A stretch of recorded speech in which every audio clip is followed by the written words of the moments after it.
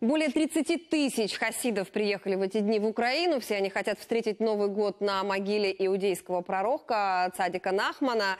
Как празднуют и как меняется Умань в эти дни, видел Станислав Кухарчук.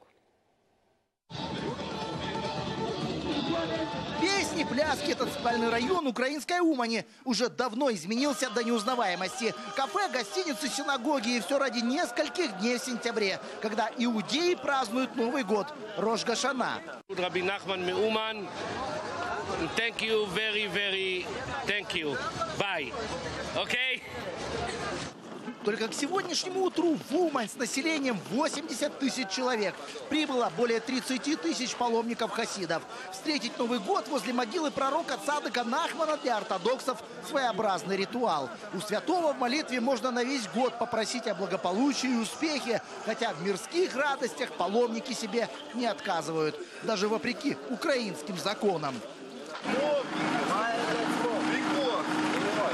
Це є заборонено, так як згідно статті 178 КУПАП України, розпиття спиртних напоїв це в громадському місці є забороненим. Подобных ситуаций в районе паломничества немало. На время празднований правопорядок в Умане охраняют 600 наших полицейских и 20 израильских. Они для паломников своеобразный сдерживающий фактор. Ми знаходимося, працюємо тут в формі ізраїльської поліції. Як ви бачите, вони нас бачать і не будуть робити серйозних проблем, тому що розуміють, що нам всі всю цю інформацію, всі ці дані передадуть, і ми передамо це в Ізраїль. Во время празднований работы прибавляется не только у полиции, но и у местных жителей. На эту неделю район паломничества превратился в настоящий рынок товаров и услуг. Предлагают все от жилья до транспортировки чемоданов.